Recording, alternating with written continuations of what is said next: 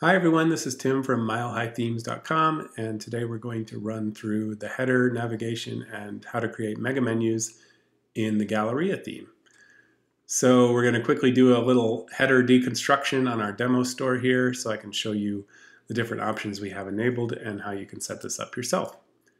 So first of all, you can see that we have our header here with our logo in the center and then we've got a couple of different mega menus here with some images on the right. So our shop and our featured menu, this one has four columns, this one two. Then we've got a standard drop-down menu just for testing on this lookbook, and then a couple of other items here. So let's jump into the settings and take a look at how this is set up. So I'm in my online store themes area within Shopify, and I'm going to go ahead and customize the Galleria theme. And most everything we're going to be looking at tonight is in this header link here. So first of all, if I just click on the word header, I get sort of the main settings for the header. So this is where we've added our logo. We've got some width and text color background options overlapping the images behind the header if you like that, or you can make it standalone if you want. Um, and then there's some other options for the header in here. If we back out of here, there's a couple of different block options for the header. So if we click add block, we can choose a menu or a mega menu. So a menu is just going to be like a standard group of menus like this with drop-down menus if we have nesting. And then a mega menu is obviously this multi-column menu.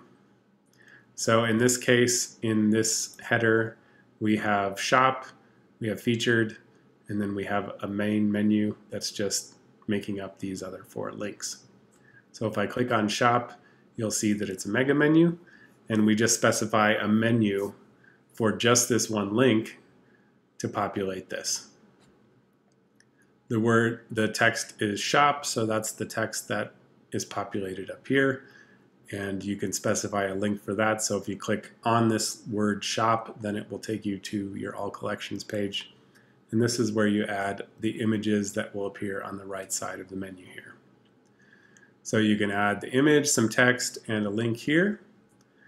So that takes care of the shop menu. And then we have a featured menu here. If we click on that, it's using a separate menu called Mega Nav Featured. And then the text is obviously the heading text here again. And there's the image that we have. We're only showing one image on this one because we have four columns in here. And then the new main menu is just showing a menu called new main menu that just populates the rest of the main navigation. Now, if you did have second level navigation on any of these items, it would show a standard drop down like I showed you earlier. It actually already deleted that. But you can have just static links like this, or you can have single column drop downs in your menu. So with that out of the way, we're going to jump over into the menus themselves just to see how these are set up. So again, with the shop menu, we're using a menu called Mega Menu. For the featured, we're using Mega Nav Featured. So I'm going to go ahead and exit out of here. And I'm going to go to Online Store Navigation. And you can see the different menus we have here.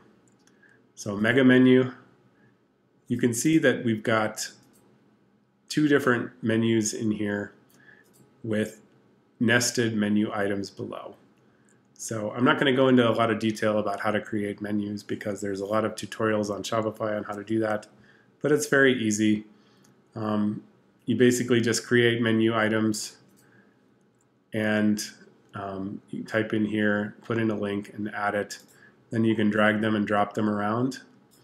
And if you want to make them nested, you can drag them slightly to the left or right, and you'll see the indentation over here adjust to show that it's part of this menu.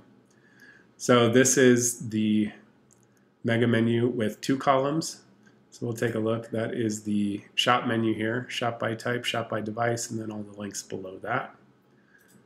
So we've got all the links below shop by type and all the links below shop by device.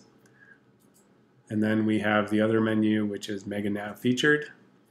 And you can see that there are four options in this. So you've got a four column mega menu. And the theme is smart enough to know that If you have four items in here, it will show four columns across. If you have three, it will show three, and so on. And then, of course, you've just got nested navigation below these headings, staff picks, customer favorites, top gifts ideas, editor's choice.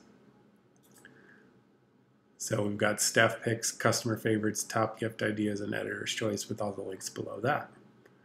So that's a quick and dirty rundown of the header options that come with Galleria. I hope you found this video helpful.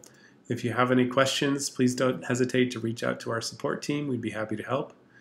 Thank you so much for watching this video and for trying out our themes. We really appreciate it, and we'll see you in the next one.